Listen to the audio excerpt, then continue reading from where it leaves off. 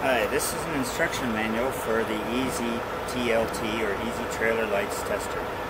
The way this tester is set up, there's a power switch on the front.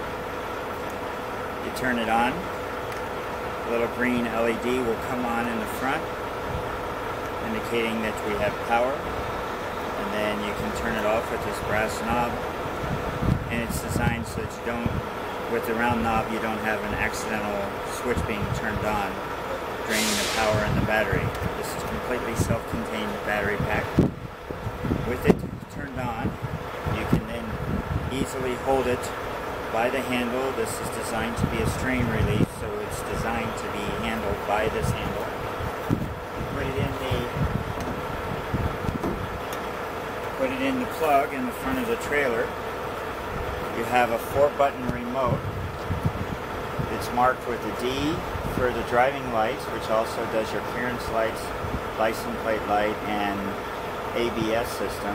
B for brakes, L for the left, and R for the right. So the top right is your driving lights, ABS and clearance lights. Top left is the brake lights. Bottom left is your left turn signal, and bottom right is the right turn signal.